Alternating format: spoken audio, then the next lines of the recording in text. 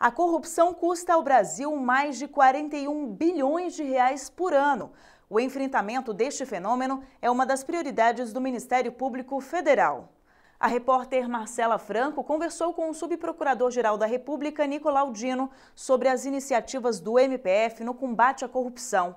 Ele lidera a quinta Câmara de Coordenação e Revisão que cuida do tema. Assista a entrevista.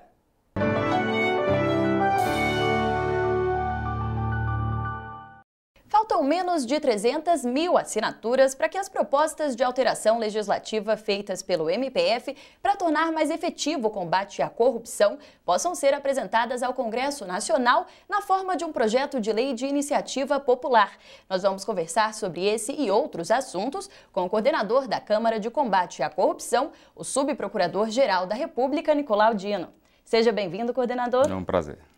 É, aqui o senhor acredita a enorme adesão popular alcançada pela campanha 10 medidas contra a corrupção em apenas seis meses, né, desde o início da campanha?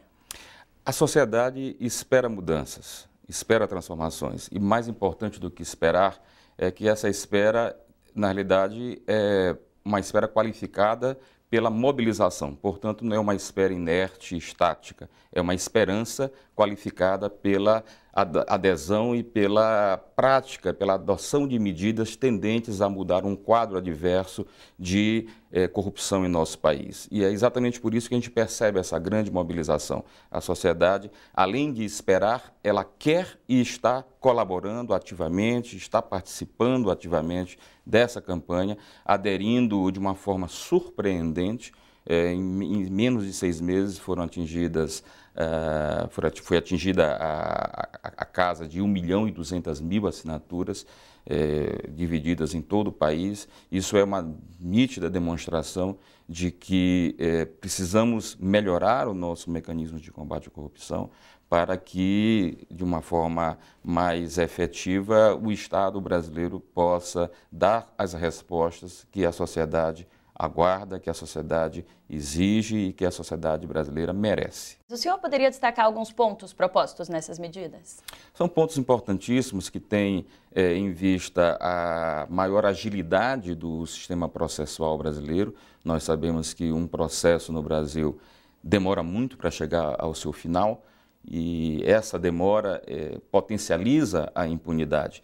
Então é necessário que haja mecanismos mais expeditos os recursos precisam ser mais julgados de uma forma mais célere. E, principalmente, nós precisamos acabar com essa ideia de que é necessário que o Supremo Tribunal Federal julgue, em última análise, um recurso para que se possa dar cumprimento a uma decisão judicial. Para isso, há uma proposta no sentido de permitir a execução dos julgados é, após a decisão dos tribunais do segundo grau de jurisdição, o que já ocorre em vários países, ou seja, você tem a confirmação é, de uma decisão condenatória já em segunda instância, é possível já partir-se partir para a sua implementação, é, na, mesmo que haja pendente um recurso de natureza constitucional.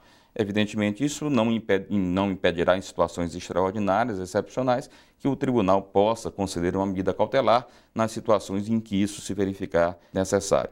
Agora, é preciso dar mais agilidade e dar mais efetividade ao sistema. Que avanços que já podem ser percebidos com a atuação do MPF nos núcleos de combate à corrupção? Como que funciona esse modelo de trabalho que já está presente em 24 estados e no Distrito Federal? Essa é uma grande mudança na forma de combater a corrupção em nosso, é, nossa instituição. É, nós sabemos que a corrupção é um fenômeno que é, desafia uma série de consequências no plano é, normativo. Ou seja, a corrupção pode ser enfrentada no campo penal, também no campo da improbidade e agora também mediante os instrumentos novos da lei anticorrupção, que tem em vista combater também, é, é, punir as empresas que praticam atos de corrupção. É, o, com isso, com essas várias consequências, essas várias, várias é, alternativas de repressão, nós precisamos é, racionalizar a investigação. E o Núcleo de Combate à Corrupção tem exatamente essa proposta. Racionaliza a investigação e a persecução na medida em que faz-se uma investigação só com a, é, a, a, perspectiva multiforme. Você pode, a partir de uma só investigação, promover as medidas de responsabilização no campo penal no campo da improbidade e também agora no campo da lei anticorrupção. Isso é positivo porque dá mais agilidade à investigação e é, concentra as energias, os esforços num único ofício do Ministério Público Federal. É uma grande vantagem e os resultados já podem ser apresentados. Basta olhar a curva é, de investigação e propositura de ações de improbidade, ações penais no últimos, nos últimos dois anos, para se verificar que onde há núcleo de combate à corrupção, a investigação se torna mais célere e mais efetiva. É um dado, eu acho que é um salto qualitativo que o Ministério Público Federal tem dado e que tem despertado a atenção de outras instituições aqui e fora do Brasil. Como é que o ranking da transparência, que foi elaborado com base na avaliação de todos os portais municipais e estaduais, quanto ao cumprimento da lei de acesso à informação, tem colaborado na luta contra a corrupção? É preciso ter em mente exatamente isso que você colocou, Marcela. Quando se, quando se fala em transparência, na realidade a gente está pensando em é, aprimorar os mecanismos de prevenção da corrupção. E esse é um dado que precisa ser frisado para o público. É, o combate à corrupção ele tem várias esferas. Ele tem a esfera repressiva e ele também tem esfera preventiva. É o velho, o velho ditado, é melhor prevenir do que remediar. E a transparência tem exatamente esse projeto, tem exatamente esse viés, de prevenir a corrupção. De que forma? Tornando o Estado, a atuação da administração mais transparente. Porque a transparência melhora os mecanismos de controle, inclusive os mecanismos de controle da própria sociedade. A grande virtude do projeto é essa. Para a gente encerrar, qual que é o planejamento para 2016 no campo de combate à corrupção? Nós temos vários, eh, vários projetos em curso.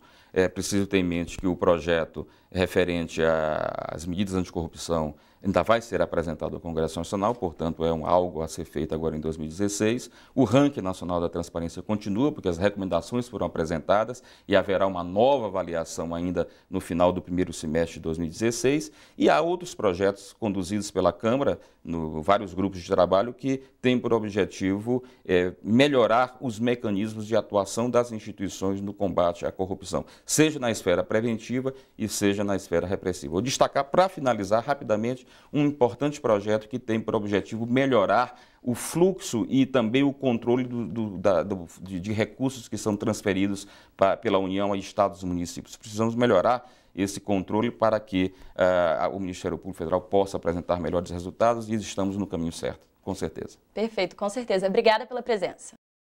É um prazer.